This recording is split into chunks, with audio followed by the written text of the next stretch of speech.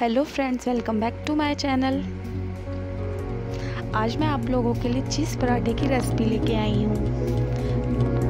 तो चलिए स्टार्ट करते हैं। इसके लिए हमें किस किस इंग्रेडिएंट्स की ज़रूरत पड़ेगी देखते हैं। यहाँ मैंने एक टू कप गेहूँ का आटा हाफ़ कप मैदा हाफ़ कप सूजी लिया है। यहाँ चीज़ लिया है। ऑयल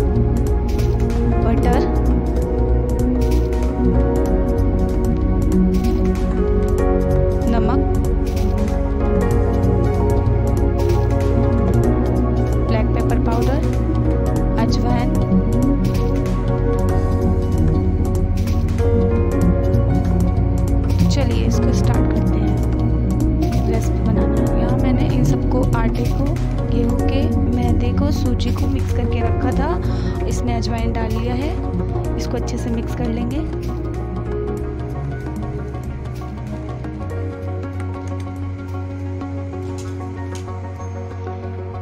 अब इसमें हाफ़ टेबल स्पून ऑयल डालेंगे।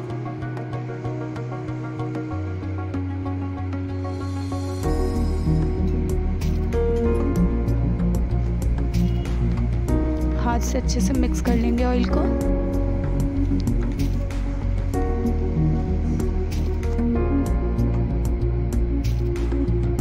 ये आटा लग चुका है।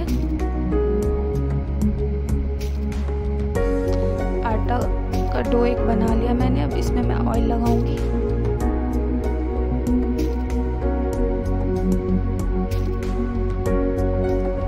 ये चीज़ को मैंने ब्लैक पेपर और पिज़्ज़ा सीजनिंग और स्वाद अनुसार नमक डाल लिया है। आटे के लोई काट लेंगे। लोई काट के रख ली है। अब हम एक रोटी बेल लेंगे, बड़ी सी पतली।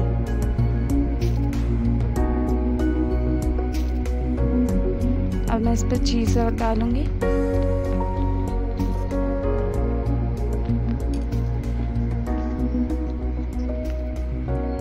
इसको फोल्ड करेंगे अब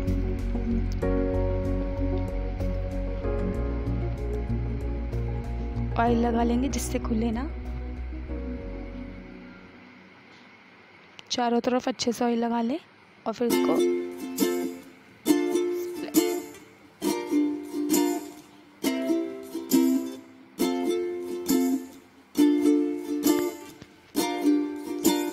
आटा थोड़ा थोड़ा सूखा आटा डाल लें